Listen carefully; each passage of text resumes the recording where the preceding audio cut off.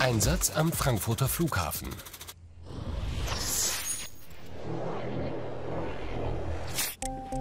Jeroen Wolder auf dem Weg zur Arbeit. Es ist kurz vor neun. In einem Dienstzimmer der Fraport sieht der Check-in-Agent, an welchem Schalter er eingeteilt wird. Es folgt die Gruppenbesprechung. Die Mitarbeiter gehören zum Bodenverkehrsdienst der Fraport. Alle sind gleich für die Abfertigung der Passagiere einer Singapore Airlines Maschine zuständig, die vom New Yorker Flughafen JFK kommt, in Frankfurt einen Zwischenstopp einlegt und nach Singapur weiterfliegen wird. Der Check-in-Agent bereitet sich vor und meldet sich mit seinen Daten am Arbeitsplatz an. Hier steht, wie viele freie Plätze es noch in verschiedenen Klassen gibt. Und bei Booked kann ich genau sehen, wie viele Personen in Transit sind, sprich die in JFK eingestiegen sind und die weiterfliegen nach Singapur und wie viele in Frankfurt dazusteigen. 22 Fluggesellschaften buchen bei der Fraport den Check-in-Service direkt mit. So müssen die Airlines selbst kein Personal am Standort Frankfurt bereitstellen. Die ersten Passagiere kommen. Darf ich bitte einen Reisepass haben? So. Wie viel Gepäck möchten Sie mitnehmen? Die junge Frau hat eine Reisetasche Marke Eigenbau. Das macht Probleme, denn auf tütenartigem Material sitzen die Kleber mehr schlecht als recht. Am besten gehen Sie hier rüber. Die erste Möglichkeit nach links abbiegen und immer geradeaus gehen. Okay, alles klar. Danke. Schöne Reise. Danke. Tschüss. So geht es jetzt am laufenden Band. Freundlichkeit ist oberstes Gebot. Wenn Sie noch mal Ihren Namen kontrollieren können. Dann haben Sie jetzt die Verantwortung für alle. B46 ist unsere Gehzeit. Sie bitte um 11.30 Uhr dort. Und dann wünsche ich eine sehr schöne Zeit. Vielen Dank. Haben wir schöner Platz? Natürlich, die schönste. Das war mir klar. Seit vier Jahren ist der gebürtige Niederländer am Flughafen. Aber einen Tag wird er nie vergessen.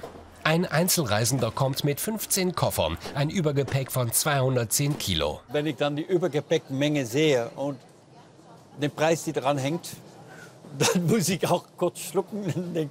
Und es gibt Personen ohne Zögern, ziehen Kreditkarte und bezahlen dann vorne bei der Airline. Macht 12.600 Euro zusätzlich für den Mann aus den Emiraten. Jeroen Wolder war beruflich immer schon im Tourismus tätig, zuletzt in einem Hotel. Bei einem Vorfall war Schluss.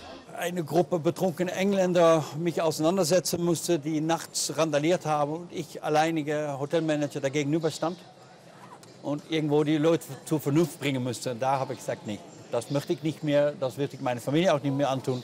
Äh, die möchte auch was von mir haben, wenn ich ein bisschen älter bin. Für heute ist der erste Teil der Arbeit geschafft. Der 55-jährige Familienvater geht jetzt quer durchs Terminal zu Gate B46. Do you have any connecting flight? You can go straight out here, that's the right gate. Die Besonderheit bei dem Flug New York, Frankfurt, Singapur, einige Passagiere bleiben im Transitbereich, einige fliegen mit einem anderen Flugzeug weiter oder Reisende bleiben in Frankfurt. Nicht zu vergessen, die neu eingecheckten Passagiere kommen dazu. Die Kinderwagen stehen auch schon parat, um es den Familien etwas einfacher zu machen. Wir checken, ob die jetzt weitergehen, zurück auf den Flug müssen oder ob das Aussteiger sind. Das Flugzeug, eine A380, steht in der Zeit rund 90 Minuten am Boden.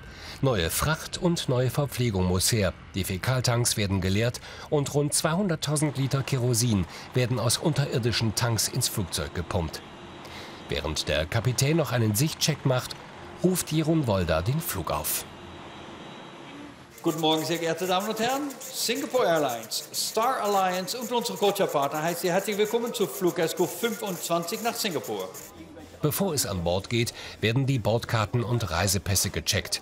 Ohne gültige Dokumente keine Mitnahme. Bei einem Fluggast fehlt das, da die Familienangehörigen die Ausweise haben, den Aufruf nicht hören und noch shoppen sind. Die ganze Gruppe, acht Personen, hatten zwölf Gepäckstücke, verteilt über mehrere Container. Eventuell hätten sie die Pässe nicht gefunden, hätten wir alle Container ausladen müssen, um die richtigen Koffer auszuladen, da kein Koffer reisen darf, wenn der Passagier nicht mitfliegt.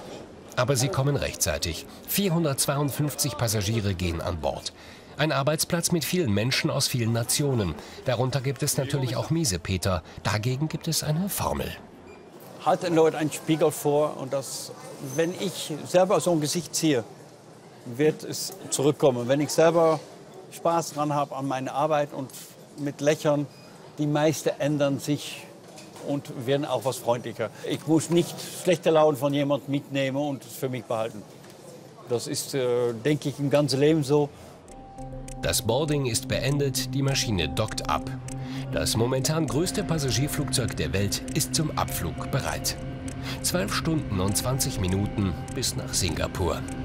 Aber nächste Woche geht es auch für Jeroen Wolda und seine Familie in den Urlaub. Ziel Rom. Buon Viaggio. Gute Reise.